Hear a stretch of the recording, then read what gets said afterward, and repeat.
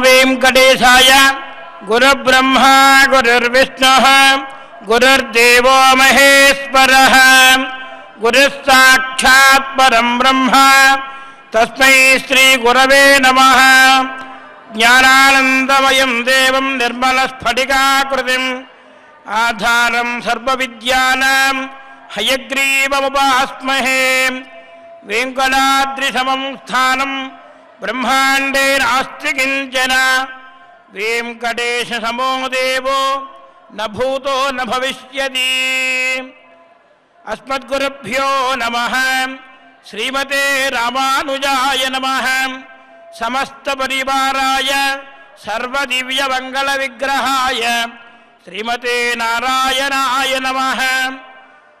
दासोहम गोशलेन्द्र से राम से आकृष्टकर्मण। हनुमान शत्रुसैन्यानां निहन्ता मारुदात्मजः रावणसहस्रं मे युद्धे प्रतिबलं भवेत्। शिलाभिस्तप्रहरतः पादवैश्च सहस्रतः। अर्धयित्वा पुरीं लङ्काम् अभिवाद्युतमैथिलीं समर्थार्थो गमिष्यामि मिषतां सर्वरक्षसाम्। अञ्जनानन्दनं जानकी जानकीशोकनाशनम् కవీసమఖ్యాంతారం వందే లంకాభయంకరం. ఆపదామపహర్తారం దాతారం సర్వసంపదాం లోకాభిరామం శ్రీరామం భోజో భోజో నమాంజహం అస్మద్గురుభ్యో నమ.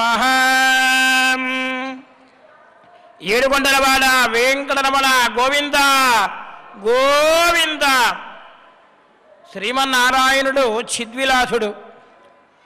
ప్రతిరోజు కూడా నారాయణుడు భక్తుల నుండి ఏమి కోరుకుంటున్నాడయ్యా అంటే శాస్త్రం మనకు చెబుతోంది మీరు నన్ను సేవించండి శరణాగతి చెయ్యండి మిమ్మల్ని నేను రక్షిస్తాను అని చెప్పి నారాయణుడు కొంగు బంగారమై మన శేషశైలాధీశుడైనటువంటి పరంధాముడు అర్చామూర్తిగా సాలగ్రామమూర్తిగా ఆవిర్భవించి ప్రజల యొక్క భక్తుల యొక్క మనోభీష్టములన్నీ కూడా నెరవేరుస్తున్నటువంటి స్వామిని మనం ప్రతినిత్యము కూడా సేవిస్తూ గోవిందా గోవిందా గోవిందా అని ముమ్మార్లు ఎవరైతే గొంతెత్తి నామస్మరణ చేస్తారో వారిని రక్షిస్తారు అని చెప్పి కంకణం కట్టుకుని మరి స్వామివారు మనందరినీ కూడా కాపాడడం కోసం ఈ తిరుమల క్షేత్రంలో వేంచేసి ఉన్నటువంటి పరంధామునికి శిరస్సు వంచి అంజలి ఘటించి సాష్టాంగ ప్రణిపాతం గావిస్తూ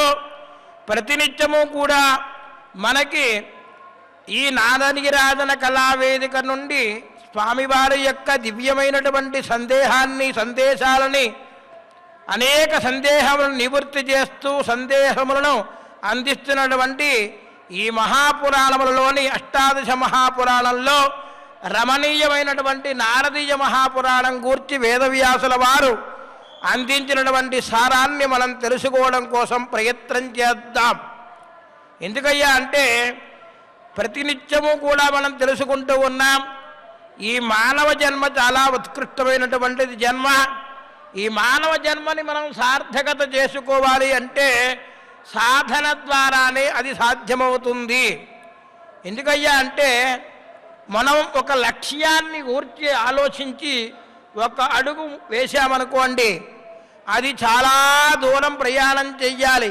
కానీ మొట్టమొదటి అడుగు మనం వేసిన తర్వాత ఆ లక్ష్యాన్ని చేరడం కోసం ఎంత అయితే మనం ఒక్కొక్క అడుగును జాగ్రత్తగా వేసుకుంటూ భగవంతుణ్ణి స్మరిస్తూ మనం సాధన ద్వారా ఆ లక్ష్యాన్ని చేరడం కోసం ఎంత ప్రయత్నం చేస్తామో చివరి అడుగు వేసే వరకు కూడా మనం ఎన్ని ఇబ్బందులు ఉన్నా దానిని అతిక్రమించకుండా చక్కగా శ్రద్ధగా మనందరం కూడా ఆ కార్యాన్ని జయించాలి. అది యొక్క ప్రయాణం చేసేటప్పుడు భగవంతుణ్ణి స్మరించుకుంటూ ఒక్కొక్క అడుగు ఒక్కొక్క అడుగు ఎలాగైతే మనం వేసి గమ్యాన్ని చేరుకుంటామో ఈ జన్మలో మనందరం కూడా ఒక్కొక్క అడుగు కూడా వేస్తూ సాధన చేస్తూ పరమాత్మని సాన్నిధ్యానికి చేరడం కోసం ప్రయత్నం చేయడం కోసమే ఈ యొక్క మహాపురాణములన్నీ కూడా మనం శ్రద్ధగా ప్రతినిత్యము కూడా శ్రవణం చేయాలి అంటే వినాలి అని చెప్పి శ్రీమన్నారాయణుడు సంకల్పం కాబట్టే ఈ నదనిరాజన వేదికలో భగవంతుని గూర్చి మనం తెలుసుకుంటూ ఉన్నాం. పరమాత్మ ఏం కోరుతున్నాడు మన నుండి అంటే శరణాగతి చేయాలి పరమాత్మని మనం. షడ్విధా శరణాగతి అన్నారు. ఈ శరణాగతి ఎప్పుడైతే మనం చేసి నీవు తప్ప నాకు వేరే దిక్కులేరు స్వామి అని చెప్పి మనం ఎప్పుడైతే పరమాత్మని మనసా వాచ కర్మణ త్రికరణ శుద్ధిగా మనం సేవిస్తామో ఆ స్వామివారు మనందరి యొక్క యోగక్షేమాలని కూడా ఎప్పుడూ కూడా చూసుకుంటూ ఉంటారు. ఇందులో ఏమి సందేహం లేదు. యోగక్షేమం వహామ్యహం అని చెప్పి పరమాత్మ మనకి చెబుతున్నారు. మనం చేయవలసినదల్లా ఏమిటయ్యా అంటే భగవంతుడైనటువంటి ఆ పరంధాముణ్ణి నామస్మరణం చేయడమే. ఎందుకయ్యా అంటే మనకి కృతయుగంలో యజ్ఞయాగాదులు చేస్తేనే మోక్షం వచ్చేదట. ధ్యానం చేస్తేనే మోక్షం వచ్చేది తదుపరి యుగంలో. ఇక అర్చన ద్వారానే మోక్షం వచ్చేది. కానీ ఈ క- కృత త్రేత ద్వాపర యుగముల కంటే కూడా ఈ కలియుగంలో నామస్మరణ ఒక్కటే. నామస్మరణాధన్యోపాయం వేరే మనకి మార్గం లేదు. సులభమైనటువంటి మార్గం ఇదే. మనం తపస్సు చేయక్కర్లేదు యజ్ఞాలు చేయక్కర్లేదు యాగాలు చేయక్కర్లేదు. కానీ భగవంతుణ్ణి కేవలం నామస్మరణ చేత మాత్రమే మనం చక్కగా భగవంతుని యొక్క శ్రీచరణాలని పట్టుకుంటే ఆ పరమాత్మ మన యొక్క జన్మని సార్థకత చేసుకోవడం కోసం మార్గాన్ని గురువుల ద్వారా తల్లిదండ్రుల ద్వారా మనకు తెలియపరుస్తూ ఉన్నటువంటి శుభ మానవ జన్మ మనందరిది కూడా. ఎందుకంటే మనం జ్ఞానం చేత తెలుసుకుంటున్నాం. ఏది మంచి ఏది చెడు ఎందుకు ఈ ప్రకారంగా మనం చేసుకోవాలో తెలిపేదే మనకి యొక్క జన్మ. ఈ జన్మ ఇచ్చినందుకు సార్థకత చేసుకోవాలంటే భగవంతుణ్ణి స్మరణం చేయడం తప్ప వేరే లేదు. కాబట్టి శ్రీరామ రామ రామేతి రమే రామే మనోరమే సహస్రనామ తత్తుల్యం రామనామ వరాలని అంటూ ఆ పరంధాముణ్ణి కీర్తన చేద్దాం. नारायणं नमस्कृत्य नरं तैव नरोत्तमं देवीं सरस्वतीं व्यासं ततो जयमुदीरयेत्। चिन्तयामि हरिमेव सन्ततं मन्दमन्दहसिदाननाम्बुजम् नन्दगोपतनयं परात्परं नारदादिमुनिवृन्दवन्दितम्। నందగోపతనయం పరాత్పరం నారదాది మునిబృందవందితం నారదాది మహామునులు సేవించినటువంటి పరమ పవిత్రమైనటువంటి ఆ శ్రీమన్నారాయణ యొక్క శ్రీచరణములలో మన అష్టాదశ మహాపురాణంలోని రమణీయమైనటువంటి నారదీయ మహాపురాణంలో నవమోధ్యాయంలో ఉన్నాం. శనకల వారు నారదుల వారు అడిగినటువంటి ప్రశ్నలన్నిటికీ కూడా సమాధానపరుస్తూ ఉన్నారు. సౌదాసుడు అనేటువంటి మహానుభావుడు సర్వధర్మజ్ఞుడిగా ఉన్నాడు. మంచి గుణములు కలిగినటువంటి వాడుగా ఉన్నాడు నాయన. ఆయన అనేక రకమైనటువంటి క్రియలన్నీ కూడా చేస్తూ శ్రద్ధగా ఉన్నటువంటి అతని కాస్త వేటాడడం అనేటువంటిది ఒక నెపంగా ఉంది. ఆ వేటాడడం కోసం అక్కడికి వెళ్ళాడు. అరణ్యానికి వెళ్ళి అనేక రకమైనటువంటి జంతువులన్నిటినీ కూడా క్రూర జంతువులన్నిటినీ కూడా సంహరించేశాడు ఆ సంహారం చేసిన తర్వాత అతను అలా వెళుతూ వెళుతూ వెళుతూ రేవా నదీ తీరంలోకి వెళ్ళాడు. అక్కడ ఒక జంటని ఉన్నటువంటి పులుల జంటని చూశాడు. అందులో జింక వెళ్ళిపోయింది అనే ఉద్దేశం చేత తాను కూడా ఆ బాణాన్ని సంధించేసరికి ఆ యొక్క పులుల జంటలో ఆడపులి కాస్త మరణించింది. ఎప్పుడైతే తన యొక్క ప్రియురాలు మరణించిందో చాలా బాధపడ్డాడు. తన ప్రియుడైనటువంటి మగపులి బాధపడి ఈ ప్రకారంగా నన్ను ఇబ్బంది పెడతావా? అని చెప్పి అనేక రకమైనటువంటి ఇబ్బందులకు గురి చేస్తూ మహారాజుపై యుద్ధం చేయడానికి సంకల్పం చేస్తే అతను చాలా భయపడిపోయి కంపితుడైపోయి పారిపోయి తిరిగి మరలా వచ్చేస్తూ ఉన్నాడు మహారాజు గారు ఇదా ప్రకారంగా సౌదాస మహారాజు గారు ఇంకా ఇక మీట నేను చేసినటువంటి దోష నివృత్తి కొరకు వేటకు వెళ్ళకూడదు అని కూడా సంకల్పం చేసుకున్నాడు. ఆ సౌదాస మహారాజు ఎప్పుడైతే ఆ ప్రకారంగా అనుకున్నాడో గతే బహువి బహుతిథే కాలే హయమేధమకం నృప సమారేభే ప్రసన్నాత్మా వసిష్టాద్యమునీశ్వరై తత్ర బ్రహ్మాదిదేవాభ్యో దేవేభ్యో అవిర్దత్వా యథావిధి సమాప్య యజ్ఞ నిష్క్రాంతో వశిష్ట స్నాతకోపి అత్రాంతరే రాక్షసేశౌ ఋషిం భార్యక. కర్తం ప్రతిక్రియాం సమాజాతో రుషాన్విత ఇంకా వేటకు వెళ్ళకూడదని నిశ్చయం చేసుకున్నాడు. ఆ యొక్క మహారాజు గారు చాలా రోజులు తరు జరిగిన తరువాత ప్రసన్నమైనటువంటి మనస్సు కలిగినటువంటి ఆ సౌదాస మహాము మహారాజు గారు వసిష్ఠ మహాముని వద్దకు వెళ్ళారు. వెళ్ళి నమస్కారం చేసుకుని అశ్వమేధ యాగాన్ని చెయ్యాలి అని సంకల్పం చేసుకున్నారట. తన తాత ముత్తాతల వలె ఆ యొక్క మహారాజు కూడా. ఇంతలో ఆ యాగమును అంటే వశిష్ఠ మహాముని వారి యొక్క అనుమతి తీసుకుని అశ్వమేధ యాగాన్ని చేయడానికి ఆరంభించాడు సౌదాసుడు అన్నటువంటి మహారాజు గారు. బ్రహ్మాది దేవతలందరికీ కూడా హవనం చేసి ఆ విష్ణును మొత్తం కూడా సమాప్తి చేసి యజ్ఞ సమాప్తి చేసుకుని స్నానం చేయడానికై వశిష్ఠ మహర్షి వారి వద్దకు వెళ్ళాడట. ఇంతలో ఈ ఇదే ప్రకారంగా యజ్ఞం పూర్తి చేసుకుని సౌదాసుడు అన్నటువంటి మహారాజు గారు వశిష్ఠుల వారిని సేవించడానికి వెళ్ళిన సందర్భంలో అక్కడ తన ప్రియురాలుని చంపినటువంటి ఈ యొక్క మహారాజు గారు అని గుర్తించినటువంటి ఆ యొక్క వ్యాఘ్రుడైనటువంటి రాక్షసుడున్నాడు కదా మొగపులి అతను ఏం చేశాడు? ఈ రాజుపై ప్రతీకారం తీర్చుకోవడం కోసం అక్కడికి వచ్చాడట. వచ్చి ఆ వశిష్ఠ మహాముని వారు వెళ్ళినటువంటి తర్వాత వశిష్ఠ మహర్షి రూపంలోనే ఈ యొక్క రాక్షసుడైనటువంటి అతను వచ్చేశాడు వ్యాఘ్ర రూపంలో ఉన్నటువంటి పులి. ఎప్పుడైతే వశిష్ఠుల వారి రూపంతోనే వచ్చి ఆ యొక్క మహారాజు గారికి సాక్షాత్కరించాడు కనబడ్డాడు. వెంటనే మహారాజు గారు ఏం చేశారు? సాక్షాత్తు వచ్చిన వాళ్ళు వశిష్ఠ మహర్షి అనుకుని తెలియక సాష్టాంగ నమస్కారం చేసి స్వామి తమకు యజ్ఞయాగాదులన్నీ కూడా పూర్తి చేశాను. తమకు కావలసినటువంటి ఈ సమితులు దర్భలు మరియు ప్రసాదములు కావలసినటువంటి ద్రవ్యాలన్నీ కూడా సమకూర్చడానికి సిద్ధంగా సేవ చేసుకోవడానికి నేను వచ్చాను అని చెప్పాడు సౌదాసుడైనటువంటి మహారాజు గారు. ఎప్పుడైతే చెప్పాడో ఆ యొక్క వశిష్ఠ మహర్షి వారి రూపాన్ని ధరించినటువంటి యొక్క వ్యాఘ్ర రాక్షసుడు ఏం చేశాడు? నాకు పెరుమాళ్ళకి ఆరాధన చేస్తూ ఉన్నాడికి సంకల్పం చేసుకున్నావు కదా? ఈ ద్రవ్యములలో నాకు మాంసము కావాలి అని కోరాడట.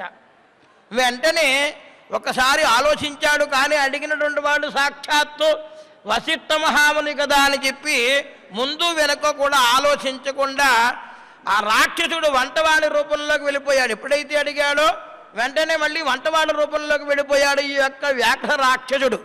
వెళ్ళిపోయి మాంసాన్ని తీసుకుని వచ్చి ఆ రాజుగారి దగ్గరికి వచ్చి మాంసాన్ని ఇచ్చేశాడు.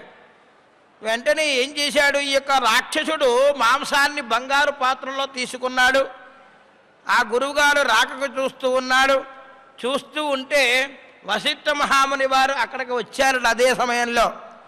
వచ్చి సౌదాస మహారాజు గారు వెంటనే ఏం చేశారు? వశిష్ఠ మహాముని వద్దకు వెళ్ళి సాష్టాంగ ప్రణిపాతం చేసి నమస్కరించి స్వామి ఇదిగో మీకు ఆధారంగా ఈ యొక్క పదార్థాన్ని తీసుకుని వచ్చాను అని చెప్పి అక్కడికి పెట్టారట.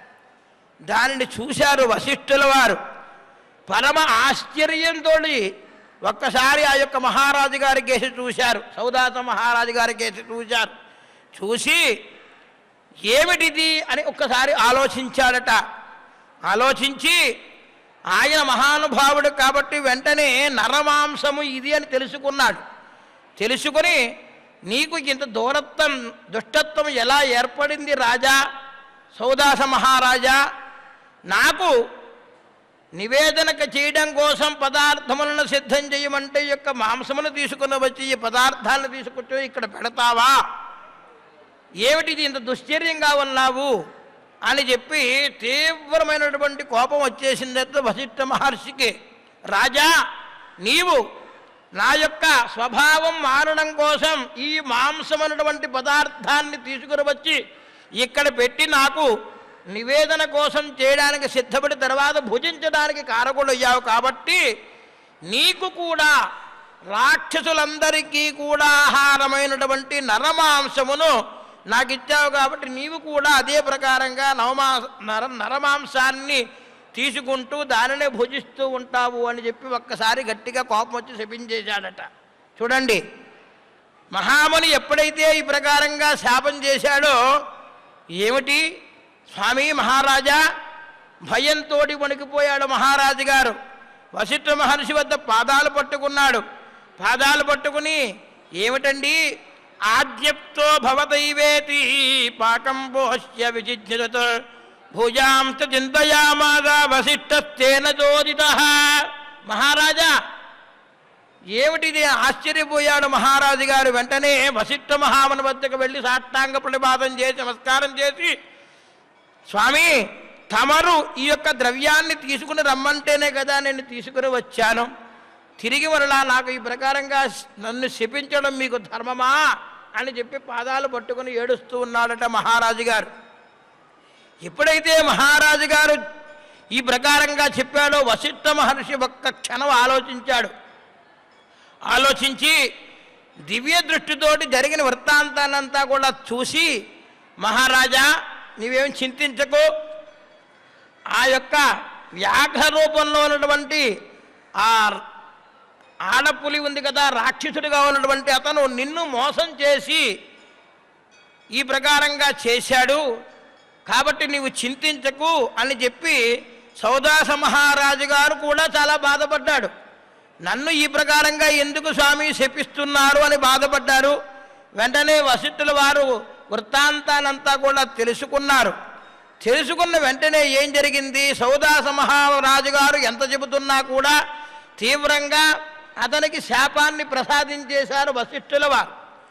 వెంటనే మహారాజు గారు కూడా కోపం వచ్చేసింది. స్వామి తమరు తెమ్మంటేనే కదా ఈ పదార్థాన్ని తీసుకుని వచ్చాను.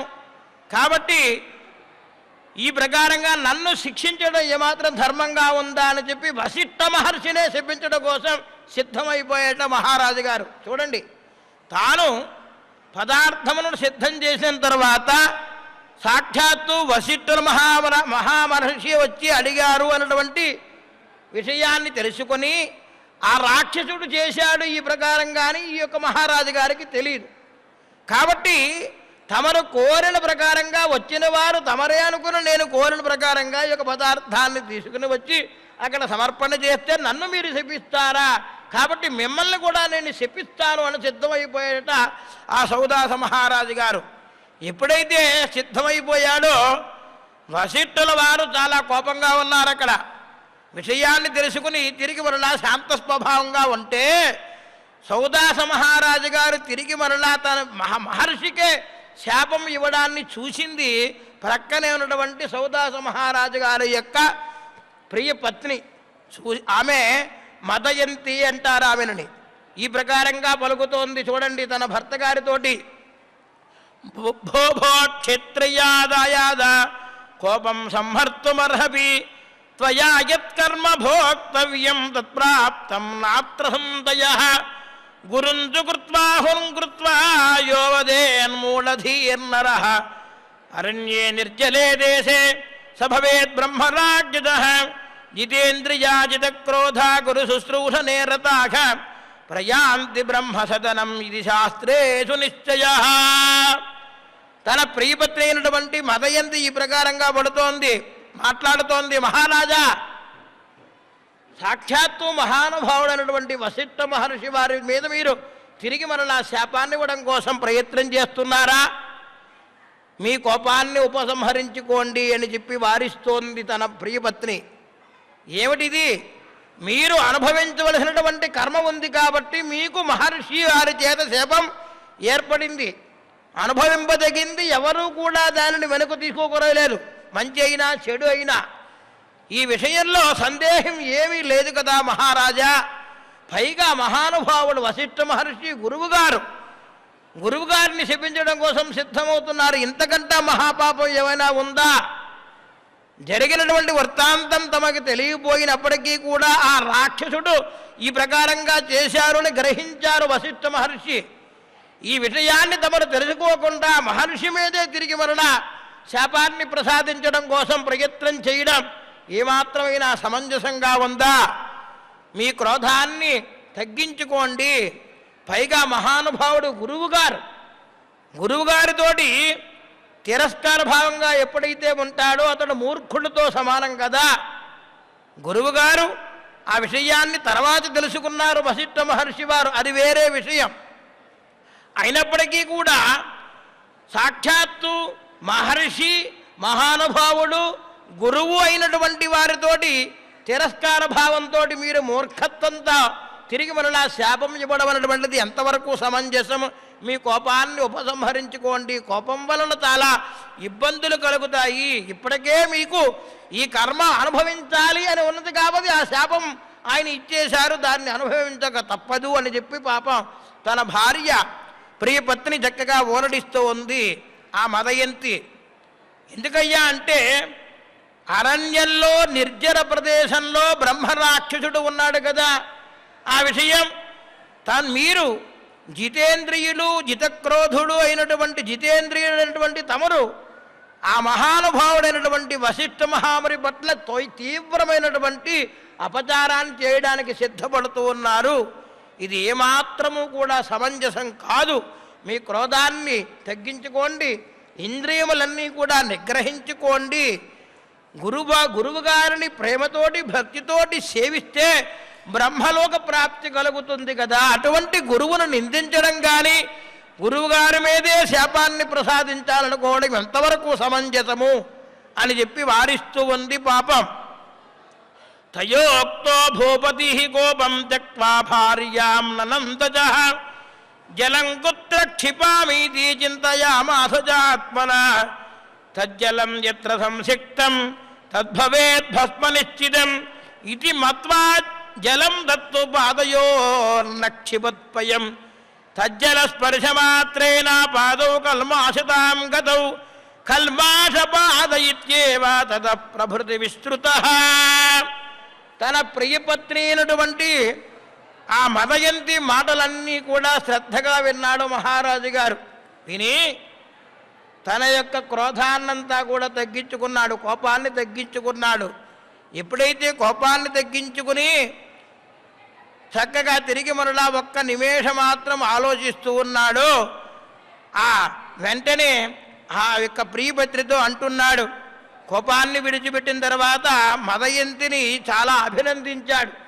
నేను గురువుగారు పట్ల ఎంతో విశ్వాసంతో సేవించడానికి వచ్చినటువంటి నా నేను క్రోధమనటువంటి దాని తీరు తిరిగి మరలా వారినే ఇబ్బంది పెట్టడం కోసం శపించడం కోసం నేను సిద్ధపడ్డానంటే ఎంత మూర్ఖత్వంగా ఉన్నాను నేను. నా మూర్ఖత్వాన్ని పోగొట్టి నా క్రోధాన్ని ఉపసంహరించేశావు నువ్వని చెప్పి పాపం అభినందించారట తన ప్రియపత్రిని. శాపాన్నంతా కూడా గ్రహించాడు కదా మనకి శాపం తప్పదు. వెంటనే ఏం చెయ్యాలి? తను కూడా నీటిని తీసేసుకున్నాడుగా గురువు గారి మీద. శపించడం కోసం ఆ తీర్థాన్ని ఏం చెయ్యాలి అని ఆలోచించి ఆ నీటితోటి ఆ ప్రదేశం కనుక కింద ఆ యొక్క తీర్థం కనుక కింద పడిందనుకోండి మహారాజు గారైనప్పటికీ కూడా ధర్మాత్ముడు నిష్ఠాగరిష్ఠుడు సత్యవ్రతుడు కాబట్టి తను గు- వశిష్ఠ మహర్షి మీదకి శపించడం కోసం తీసుకున్నటువంటి తీర్థాన్ని కాస్త భూమిపై చల్లాడే అనుకోండి. అక్కడంతా కూడా భస్మం అయిపోతుంది కదా. మరి ఏం చెయ్యాలి అని ఆలోచించి ఆలోచించి తన యొక్క ఆ జలం ఉంది కదా ఆ యొక్క మహారాజు గారి యొక్క పాదములపై వేసేసుకున్నాడట ప్రధా దానిపై చల్లేసుకున్నాడు. వెంటనే ఎప్పుడైతే పాదములపై చల్లేసుకున్నాడో సౌదా మహా మహారాజు గారి యొక్క పాదములన్నీ కూడా భస్మం అయిపోయి కల్మషం అయిపోయింది ఆ నోడి నుండి ఆయనకి ఆ సౌదాస మహారాజు గారికి కల్మషపాదుడు అన్నటువంటి నామకరణం పేరు సిద్ధించింది. ఎందుకయ్యా అంటే మహాత్ములు ఒక శాపాన్ని తెలిసో తెలియకో వదిలిపెట్టారు అని అంటే సాక్షాత్తు వశిష్ఠ మహర్షి ఇక్ష్వాక వంశమునకు గురువైనటువంటి వశిష్ఠ మహర్షి గారు. ఆ మహా మహర్షిని తిరిగి మరలా శపించడం ఎంతవరకు ధర్మమా అని చెప్పి నివారించినటువంటి భార్య యొక్క మాటలు విననటువంటి విన్నటువంటి మహానుభావుడైనటువంటి రాజుగారు క్షణమాత్రం ఆలోచించారు. అక్కడ కూడా ఆ వశిష్ఠ మహర్షి వారు చాలా బాధపడ్డారు. అయ్యో తిరుధర్మాత్ముడు మహారాజు గారు అయినప్పటికీ కూడా నేను కూడా కాస్త క్రోధం చేత ఇతరుని శపించేశానే అని బాధపడ్డాడు. పాపం మహా మహానుభావుడైనటువంటి వశిష్ఠ మహర్షి వారు. ఆ తర్వాత ఆ జలాన్ని ఉపసంహరించడం కోసం తన పాదములపై వేసుకున్నాడు. ఆ పాదములు కాస్త అంతా కూడా భస్మమైపోయి అక్కడ కమిలిపోయి ఇక కాలిపోయిందంతా కూడా. ఆ పాదాన్ని ఎప్పుడైతే తీర్థం తాగిందో వెంటనే ఆయనకి కల్మషములన్నీ కూడా పోయాయి. ఆ రోజు నుంచి కల్మషపాదుడు అన్నటువంటి నామకరణాన్ని కూడా పొందాడు యొక్క సౌదాసుడు అనేటువంటి మహారాజు గారు. మహానుభావుడు బుద్ధిమంతుడు కాబట్టి పరమాత్మ తాను చేసినటువంటి పూర్వజన్మ కర్మ ఏదో ఉంది వాసన చేత మహర్షిని సేవించవలసినటువంటి వాడు కాస్త మహర్షి వారి యొక్క ఆగ్రహానికి గురయ్యి శపించాడు కాబట్టి ఆ శాపానికి గురి అయ్యాడు. ఇక తన భార్య ఎప్పుడైతే మదయంతి బోధార్చిందో మనస్సులో చాలా సంతోషపడి తిరిగి మరలా వారి యొక్క గురువైనటువంటి వశిష్ఠ మహావర్తి దగ్గర వచ్చి వారి వద్దకు వచ్చి సాష్టాంగ నమస్కారం చేసి పాదాలు పట్టుకుని నన్ను క్షమించండి మహానుభావ అజ్ఞానం చేత చేశాను నేను. నా యొక్క తప్పుని మన్నించండి గురువర్య అంటూ పాదములపై పట్టుకుని వెక్కి వెక్కి వెక్కి ఏడుస్తూ పాపం శరణాగతి చేసి చేతులు జోడిస్తూ వినయంతో నీతి కోవిదుడైనటువంటి మహానుభావుడైనటువంటి ఆ సౌదాసముడు అన్నటువంటి మహారాజు గారు కాస్త కల్మషపాదుడు అయ్యాడు కాబట్టి ఆ కల్మాషపాదుడు మహానుభావ నన్ను క్షమించండి. నేను చేసినటువంటి అపరాధం చాలా తీవ్రమైనటువంటి అపరాధము. దీనికి నిష్కృతి లేదు. నా అపరాధాన్ని మన్నించండి అని చెప్పి గురువుగారు పాదములు పట్టుకొని పదే పదే ప్రణమిల్లుతూ పాపం బాధపడుతూ ఈ రకంగా పలుకుతూ ఉన్నాడు. స్వామి అపరాధం చేయడానికి సిద్ధపడ్డాను అని తమరు అన్నారు కానీ మిమ్మల్ని శపించాలనుకోవడం అపరాధం. అంతే తప్ప ఆ మాంసమును అంటే ఆ పదార్థమును తీసుకుని వచ్చింది తమరు తెమ్మంటేనే నేను తీసుకువచ్చాను తప్ప నాకు ఇందులో ఏ విధమైనటువంటి దోషము లేదు అని చెప్పి తిరిగి మరలా నన్ను క్షమించండి అని చెప్పి ప్రార్థన చేశాడు. అవివేకో హి సర్వేషాం ఆపదాం పరమం పదం వివేకరహితో లోకే పశుసేవన సంశయ రాజ్ఞాత్మజానతానూనం ఏతత్కర్మోచితం కృతం వివేకరహితో జ్ఞోయం యత పాపం సమాచరం వివేకనయదో యాతి యో వా గోవాపి నిర్వృతం వివేకహీన ఆప్నోతి యో వా కోవాప్య నిర్వృతిం చూడండి ఎప్పుడైతే మహారాజు గారు ఆ కల్మషపాదుడు ఆ మాటలు విన్నాడో వెంటనే వశిష్ఠ మహర్షి వారి యొక్క హృదయం కాస్త చాలా బరువెక్కిపోయిందిట. వశిష్ఠ మహర్షి ఆ ప్రార్థననంతా కూడా విన్నాడు. ఏమిటి ఇంత అవివేకపరాయణత్వంగా ఉన్నాను నేను అని చెప్పి బాధపడ్డాడు. నువ్వేం దుఃఖించకయ్యా? అవివేకపరాయణుడైన తనను తాను నిందించుకుంటూ ఉన్నాడు చూడండి మహారా మహర్షి.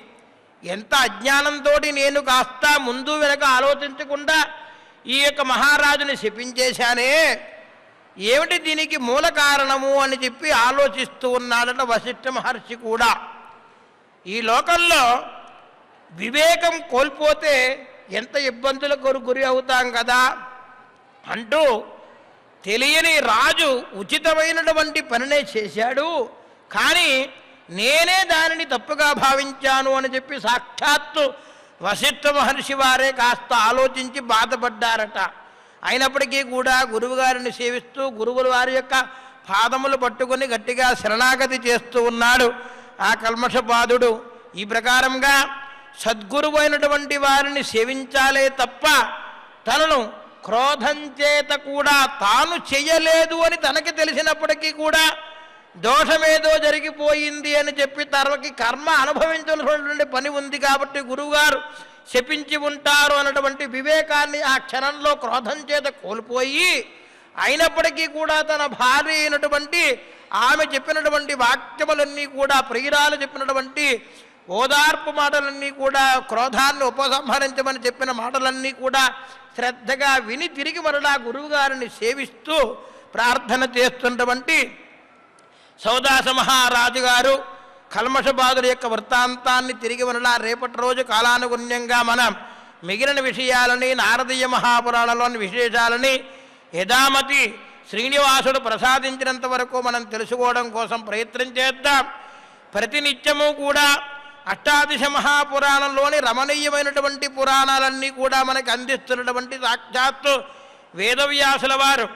అచితుర్వదనో బ్రహ్మ ద్విబాహురపరో హరి అభాలలోచనశంభో భగవాన్ బాదరాయణ. ఈ బాదరాయణుడైనటువంటి మహానుభావుడైనటువంటి వేదవ్యాసుల వారు మనకి అనేక రకమైనటువంటి పురాణాలన్నీ కూడా అందిస్తున్నారు. ఎందుకయ్యా అంటే పురాణ పురుషుడైనటువంటి మహావిష్ణువుకి నాభిస్థానంగా ఈ యొక్క నారద పురాణం చెప్పింది. స్వామివారి యొక్క ప్రతి అంగము కూడా ఒక్కొక్క పురాణము అని చెప్పారు శాస్త్రం.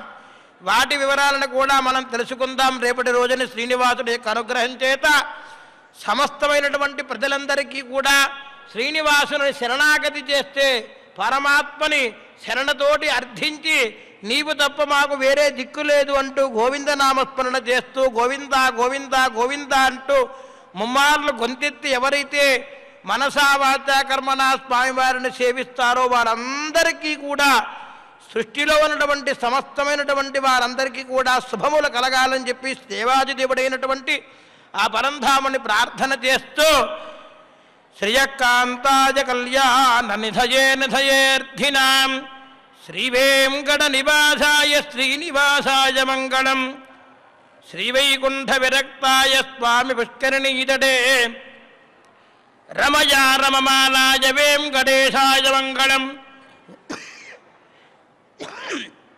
मङ्गलाशासनपरैर्मदाचार्यपुरोगमैः सर्वैश्च पूर्वैराचार्यैः सत्कृताजात्तु मङ्गलम्। सर्वं श्रीकृष्णार्पणमस्तु।